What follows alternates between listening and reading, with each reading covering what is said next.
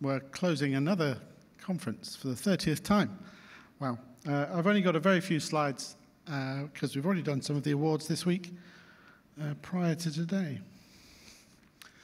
Um, these are our conference chairs Andrew, Greg, Takashi. Yes. Our founding chair, John, who's looking very busy right now. and all our committee members who've done lots of work this year reviewing submissions and creating schedules. Neil, David, who's sadly not here, although I'll go and see him in March in Milan. Hideki, Stephen, Michael, John, Bjorn, and Chris all done a great job this year. So give a round of applause to everyone who's done lots of great work. And I, I just take all the credit up here. Um, we should doubly thank Stephen and also Dan, who is over here, for all their work with the AV and making this one of the only conferences in the world where you can really see the 3D during the week, um, not, uh, uh, not just talk about it, uh, whether you want to or not. We've got a whole set of sponsors still. Uh, DepthQ, 3D, Christie for the projector at the back, uh, 3D Theatre Partners, LA 3D and the 3D Film Archive, and our increasingly professional and efficient IS&T Society who brings together the whole program for us and runs the show.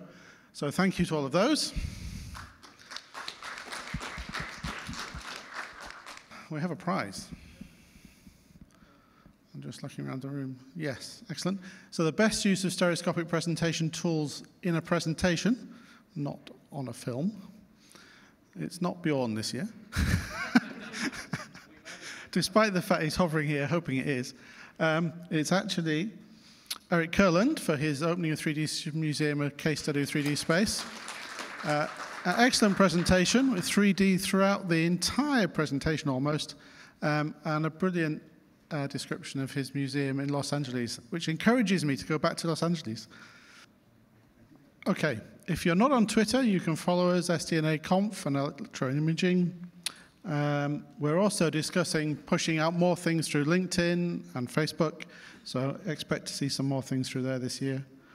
Um, how can you help us? If you're not already signed up on the mailing list, please sign up uh, and spend some time during the year telling people you know about the conference. We'd love to have more people here. We've got lots of experts in stereo 3D and 3D displays and applications, and the engineering reality of VR. Um, and we need more people, and there's more people out there, so we encourage people to come. I think this is one of the few conferences in the world where you get uh, experts from both industry and academia in the same place at the same time, talking to each other you can visit the conference website, which is coming up. Maybe not. Stereoscopic.org is the conference website. The link is there to join the mailing list. Um, next year's conference will be back here in Burlingame slightly later in January from the 25th to the 30th, and the short and long courses on the Sunday will be on the 20th. The courses are on the 26th, the conference must be on the 27th. Is me. Thank you to everybody for coming. Thank you to everyone for organising. It's been a great conference this year with some Brilliant new displays here and here and there. Uh, where's Sean gone? Come and switch them on. And then we can all see them again.